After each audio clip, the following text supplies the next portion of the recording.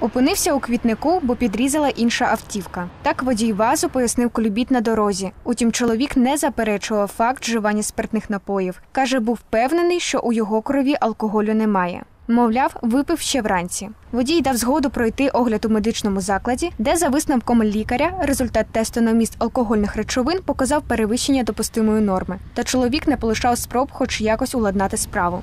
Під час складання відповідних адміністративних матеріалів водій, аби уникнути відповідальності, почав пропонувати інспекторам 10 тисяч гривень.